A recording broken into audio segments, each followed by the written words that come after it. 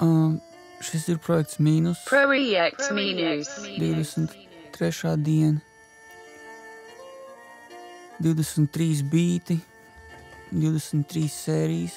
Arī šodien man jums ir pavisam jauns, svaigs beigts. Uh, bet par to nedaudz vēlāk. Uh, man ir atnākusi vēstule. Ansi, kā tu, um, kā tu uztver kritiku? Pirmām kārtām uh, kritika mani neuztrauc. Uh, es tai nepievēršu uzmanību. Un es vienkārši daru to, ko es daru, un ticu saviem uh, spēkiem, sekoju savai sirdī,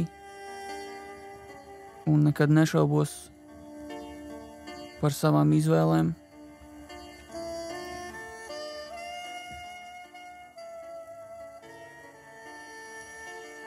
Un otrām kārtām visi kritiķi iet dirst,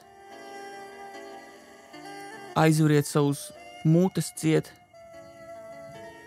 izdariet paši kaut ko labāku vispirms nekā es. Un tad paskatīsimies, kā būs, kad es jūs kritizēšu, kad man būs ko pateikt. Ok?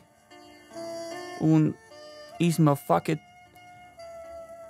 es oficiāli uzlieku visiem kritiķiem ļauno aci. Man tas tik viegli, šīs dienas bija dingo.